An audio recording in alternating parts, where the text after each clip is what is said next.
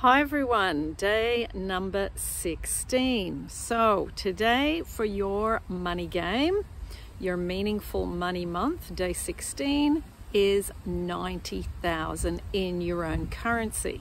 What are you going to spend it on today? Now, today what I thought I would do would be to buy a block of land and to start setting it up for a permaculture garden. I really love planting and having organic vegetables. So today I'm going to find a little piece of land somewhere in, and it will be in the UK in London and use that block of land to do the vegetable growing and herbs. Many of you know I really love to cook and I spend a lot of time cooking so this is something that I am really passionate about, having good quality food as part of self-love. So that's what I'm going to spend it on today.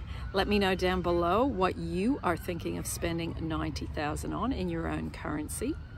Are you struggling or are you feeling good about it? Does it feel challenging? Does it feel fun? Does it feel scary? Does it challenge your fear of scarcity? what does it do? Let me know.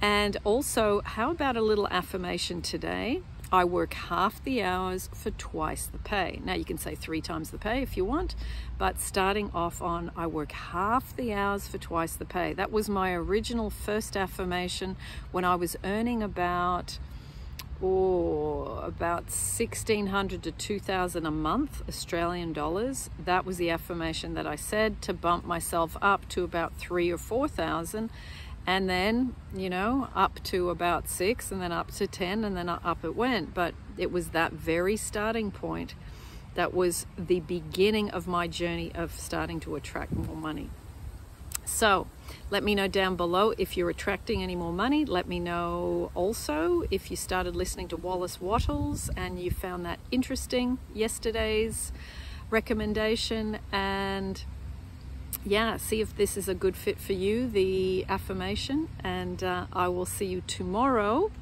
And tomorrow the amounts are going up again. In week three, we're going to make bigger jumps. Okay, so get ready. Lots of love, and I'll see you in the next YouTube.